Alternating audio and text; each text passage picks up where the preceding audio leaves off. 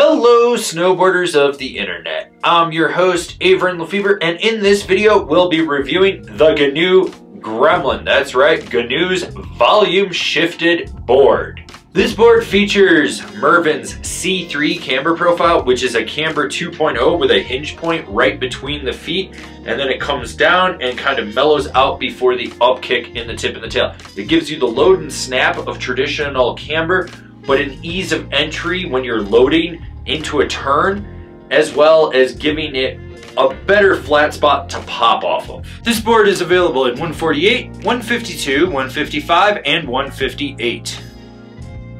I rode this board at Loveland Ski Area in the preseason on a 10 inch powder day, so there was fresh snow in the middle of the runs, perfect corduroy on the sides of it, average visibility, zero wind, colder temperatures, and I rode it with my Rome Black Label bindings and my K2 Thraxis boots. This board has an ever so slightly above middle of the road directional flex, so you do get a softer nose stiffening up through the middle to the tail with a decent amount of torsional flex. It's not like mind blowing, it's there, you notice it. There's boards with more and there's boards with less.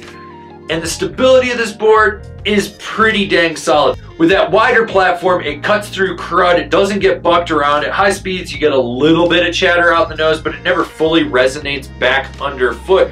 Overall, the board feels damp, yet still retains its liveliness, so it's not a dead-ass plank. This board has snap. From the camber profile to the flex pattern to the actual shape of the board, when you load it up, you're gonna get rebound, you're gonna get snap. It's an easy camber profile to load up, and when it activates, you notice that there's a spring point right outside the back bindings, and it just slingshots you into the air. This is a board that wants to get in the air. You want to hit a side hit, it becomes a launch ramp. Ollie off a roller, you're clearing that stupid family of skiers that doesn't know what they're doing down below. It's one of those boards. Like I said, it's easy to engage, yet you're going to get optimal spring and snap out of it. So when it comes to butters, you got this optimal spatula-like scoop out here in the nose that you can really press into and you're still gonna get spring and snap. It's one of those boards that lets you swivel and sizzle, especially in deep snow. You can just feel it when you get up on it and it locks in, but then it pops you back out. I mean, you can do just about any butter variation in deep snow or even on a groomer.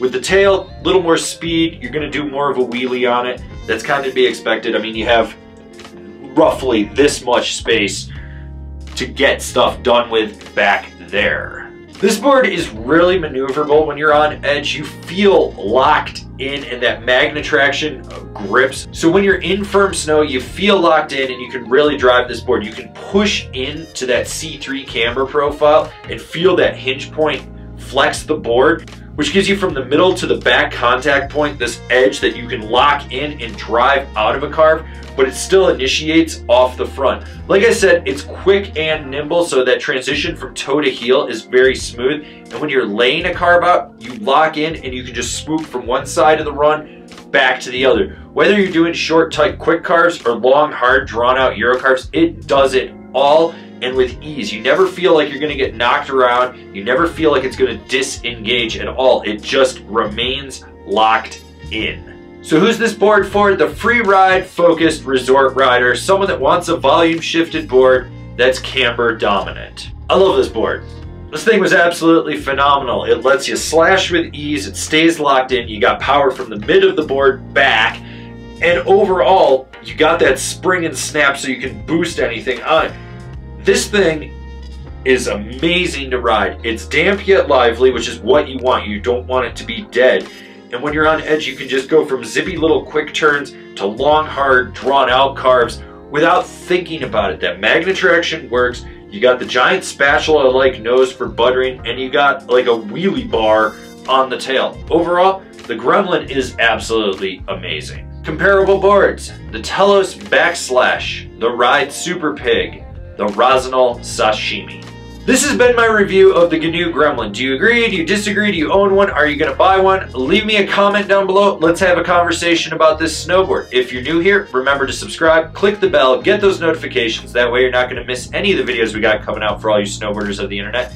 And if you really want to support us and just help us grow out what we're doing over here, swing on over to Angry Snowboarder VIP. I could tell you more here, but I got a video over there that explains it so much better. As always, I've been your host, David LeFeber, and I'll see you in another video.